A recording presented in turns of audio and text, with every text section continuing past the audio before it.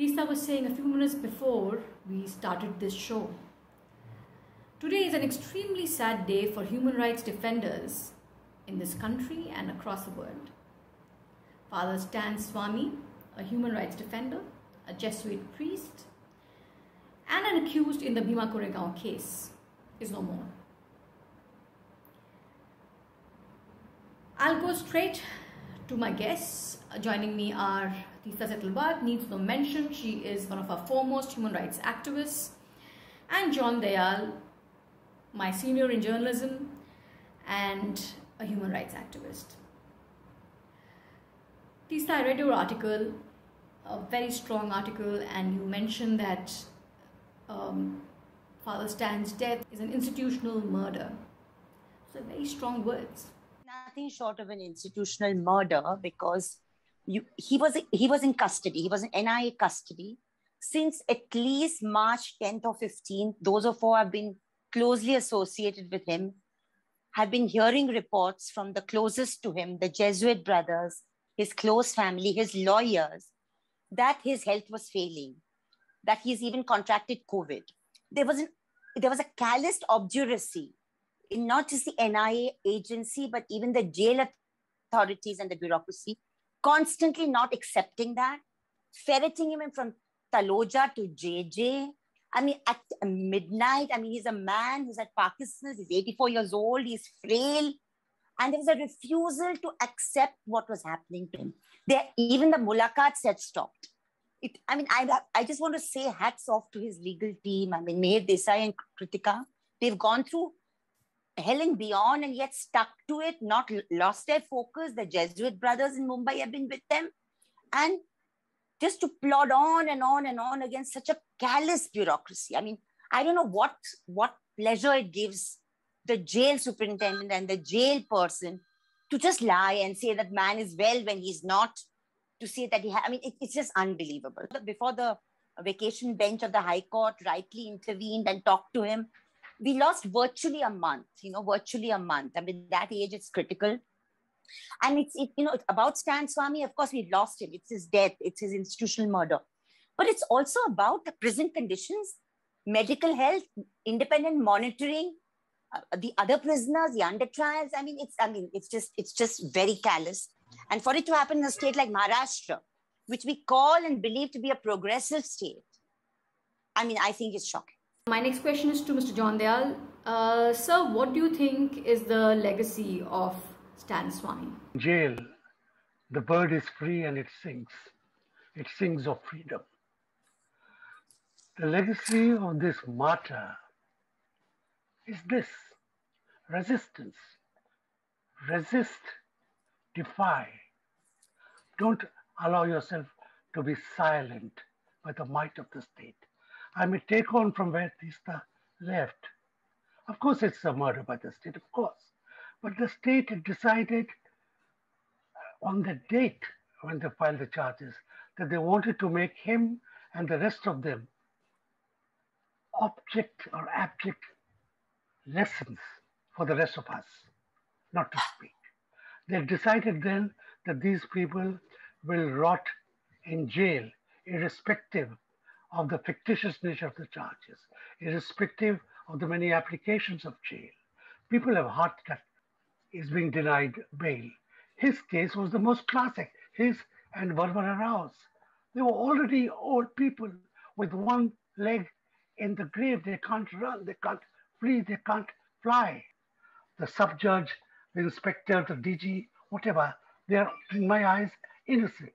It is a couple of people the very top of the pyramid. And the rest of these people, these dummies, uh, whatever you call them, they have to obey wrong orders. But the giver of those orders in New Delhi have to be held culpable, responsible, and have to be indicted in the eyes of the world. I, I don't understand this. Why was uh, Father Stan such a, a threat? I mean, who was threatened by him? Implementation of the Chhattisgarh Act which grants autonomy to tribal areas, Adivasi areas.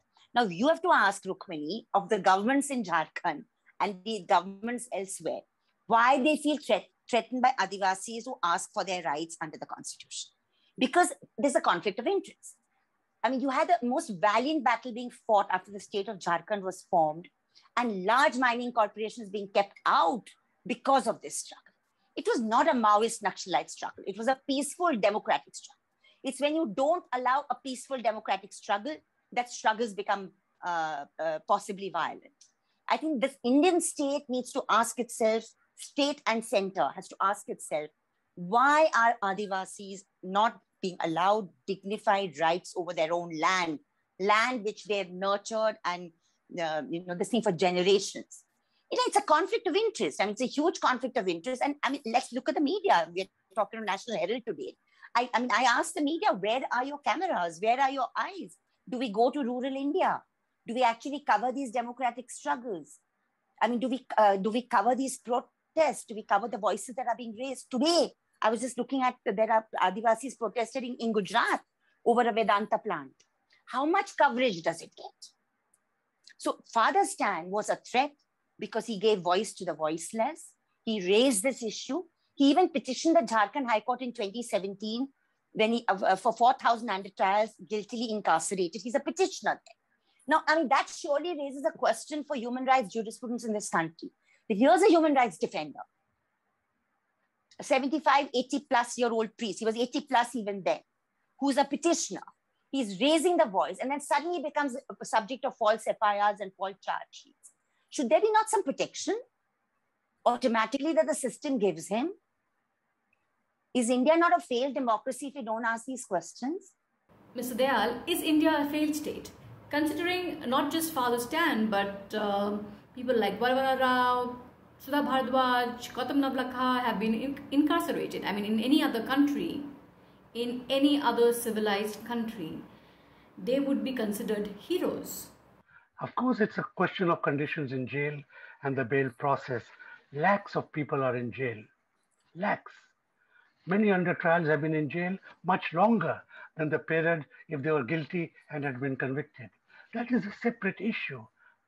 But here, this group of people were to be made examples to crush, as Teesta said, the voices of anybody who dares speak for the right of people, for the right of people for their own life, their own health, their own resources, their wife, their children, for their own future which was imparted away, sold, stolen and sold, I should say, to crony capitalists.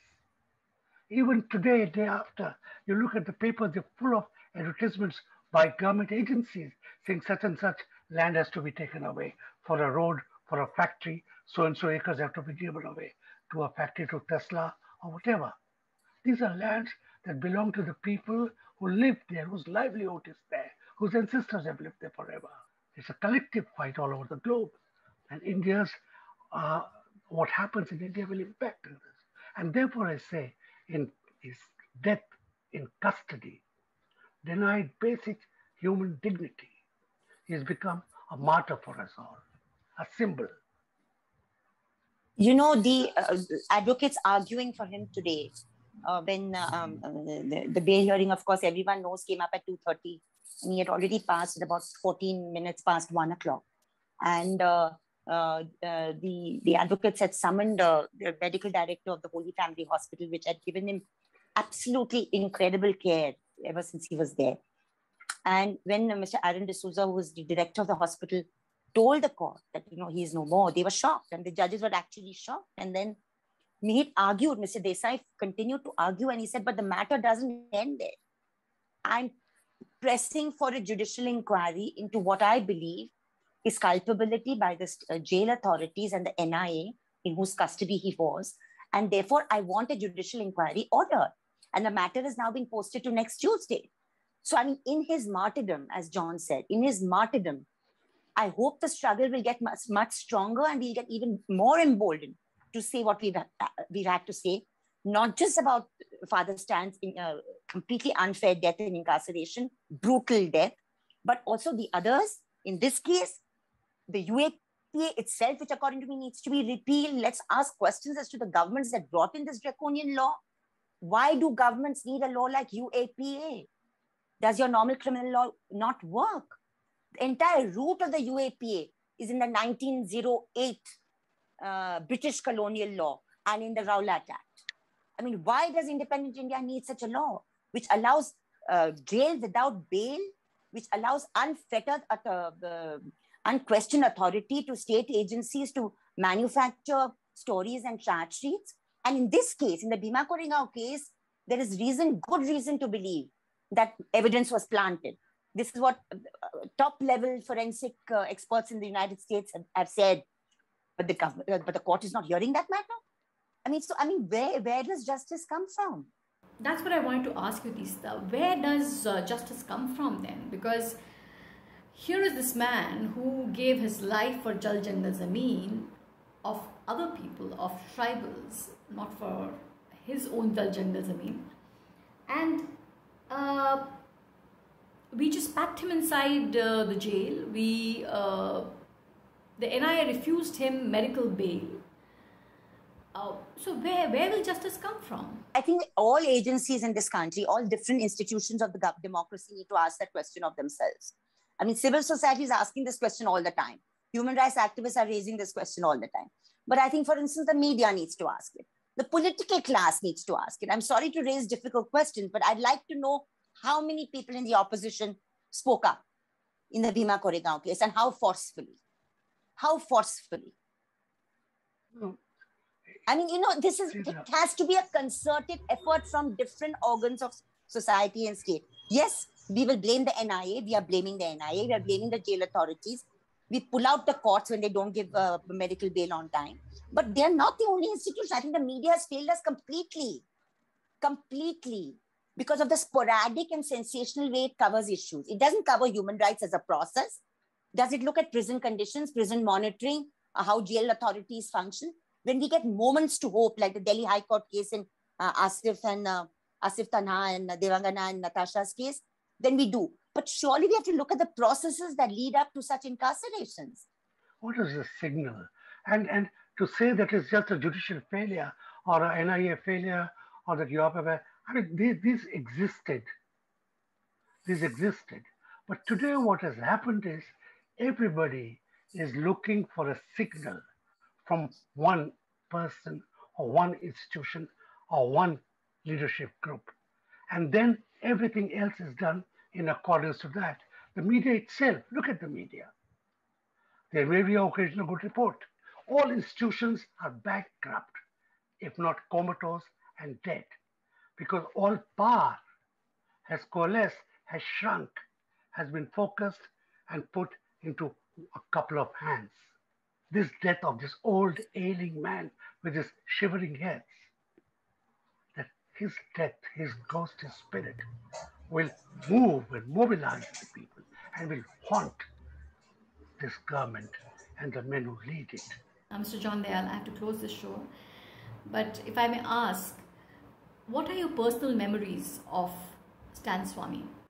These are not ordinary religious people. They run schools and colleges, of course, but their main work is to be with the people, particularly the people who suffer. So most of the organizations are like that.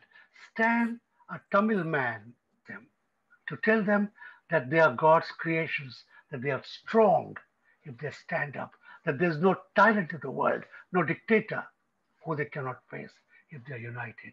And that is the threat he and others like him pose to the people. I like to recall that 2,000 years ago, a 33 year old man did the same, and he was killed in judicial custody.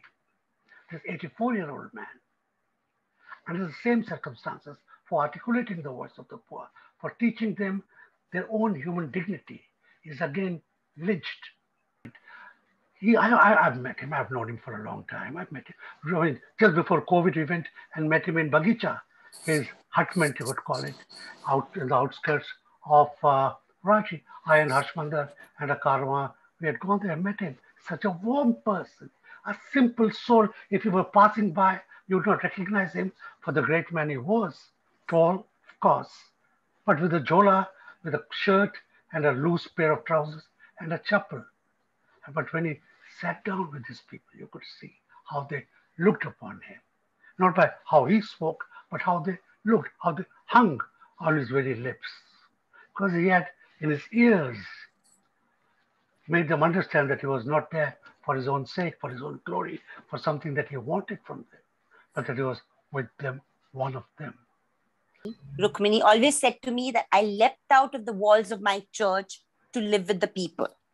Those were his words. And that's the way he was. I mean, he was a committed Jesuit priest, but for him, his religion was to be with the people and to struggle for their rights and their dignity. That was his real faith. And he did it with a simplicity and a dogged obstinacy and commitment. I mean, I was Indeed. talking since for the last two hours, I've been talking to young students who've grown up in Ranchi and Jamshedpur. I mean, they are probably 10, 15, 20 years, 20, 25 years younger than me. And they've all grown up knowing this legend of Fa- Father Stan Swamy and what Bagaicha meant. Now, this is this is the it's contemporary lore. It's it, it's history in the making, and yet we do not know what we have lost. He was a regular contributor to Sabrang India. Today, we put out as tribute all the articles he wrote for us. As Sister said, yet we do not know what we have lost. Before closing the show, I'll just sum up what Teesta Setalvad just said. UAPA needs to be repealed. We need to look at our prisons. Uh, we have to ask why opposition parties don't intervene, don't raise their voice against such inhumanity like what has happened to uh, Father Stan. We need to look at different constitutional institutions and their roles. We have to ask media why uh, they don't look at human rights as a process. And who's the state with? What happened to the first FIR in the Bhima Koregaon case? And we must also remember whatever happened, Father Stan Swamy is a contemporary law. I'm Rukmini Sen. You're watching National Herald. Thank you, Teesta. And thank you, John Dea.